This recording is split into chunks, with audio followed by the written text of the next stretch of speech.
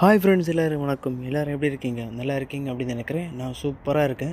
இந்த வீடியோவில் பார்த்தீங்கன்னா வந்து டிவிஎஸ் நிறுவனம் ஜூபிட்டரில் பிஎஸ் சிக்ஸ் வெர்ஷன் வந்து வெளியிட்டிருக்காங்க. ஸோ இந்த பைக்கில் பார்த்தீங்கன்னா வந்து மொத்தம் மூணு வேரியன்ட் இருக்குது ஸோ அதனுடைய விலை அதுக்கப்புறம் எவ்வளோ சிசி இன்ஜின் அப்படி என்னெல்லாம் வந்து ஃபீச்சர்ஸ் கொடுத்துருக்காங்க இதில் என்ன ப்ளஸ் இருக்குது என்ன மைனஸ் இருக்குது அப்படிப்பட்ட விவரங்களை இந்த வீடியோவில் ஃபுல்லாக பார்க்கலாம். இந்த பைக்கில் ஃபியூல் இன்ஜெக்ஷன் சிஸ்டம் கொண்ட நூற்றி ஒன்பது சிசி இன்ஜின் கொடுத்துருக்காங்க.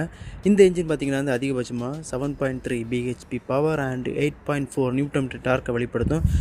கம்பேர் பண்ணும்போது பார்த்தீங்கன்னா வந்து பழைய மாடல் பைக்கோட பாயிண்ட் ஃபைவ் பிஹெச்பி பவர் வந்து கம்மியாக இருக்குது அது மட்டும் இல்லாமல் ஸ்டோரேஜ் கெப்பாசிட்டி பார்த்திங்கன்னா வந்து ஓல்டு வெர்ஷனில் செவன்டீன் லிட்டர்ஸ் இருந்துச்சு. இப்போ வந்து பார்த்திங்கன்னா வந்து டுவெண்ட்டி ஒன் லிட்டர்ஸாக வந்து அப்கிரேட் பண்ணியிருக்காங்க அதுக்கப்புறம் பார்த்திங்கன்னா வந்து பெட்ரோல் டேங்க் கெப்பாசிட்டி ஓல்டு வெர்ஷனில் ஃபைவ் லிட்டர்ஸ் இருந்துச்சு. இப்போது நியூ வெர்ஷனில் சிக்ஸ் லிட்டராக வந்து அப்கிரேட் பண்ணியிருக்காங்க ஆனால் இதில் என்ன மைனஸ்னு பார்த்தீங்கன்னா வந்து இவங்க ட்ரம் பைக்கில் வந்து இப்போ வந்து ரிலீஸ் பண்ணியிருக்காங்க முதல்ல சொன்னேன் இந்த பைக் வந்து மூணு வேரியண்ட் வெளியிட்டிருக்காங்க. ஃபஸ்ட்டு வேரியண்ட் பார்த்தீங்கன்னா வந்து ஸ்டாண்டர்டு இந்த பைக்கினோட விலை அறுபத்தி ஒன்றாயிரத்தி நானூற்றி நாற்பத்தி ஒன்பது ரூபாய். இரண்டாவது பைக்கு பார்த்தீங்கன்னா வந்து இசட் எக்ஸ் அப்படின்னு ஒரு வேரியண்ட் சொல்கிறாங்க அறுபத்தி மூன்றாயிரத்தி நானூற்றி நாற்பத்தொம்பது ரூபாய்.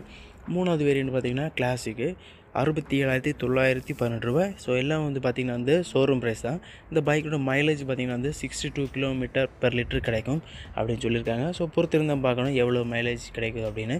ஓகே ஃப்ரெண்ட்ஸ் இந்த சின்ன வீடியோ பிடிச்சிருந்துன்னா லைக் பண்ணுங்கள் மீண்டும் இன்னொரு புதிய வீடியோவில் சந்திப்போம். நன்றி வணக்கம். வீடியோ பற்றி அவங்க எண்ணங்களை வந்து கமெண்ட் பண்ணுங்கள் இந்த வீடியோ உங்களுக்கு பிடிச்சிருந்தா உங்கள் ஃப்ரெண்ட்ஸை ஷேர் பண்ணுங்கள் மறக்காமல் நம்ம தமிழை சேனலுக்கு வந்து சப்ஸ்கிரைப் பண்ணுங்கள்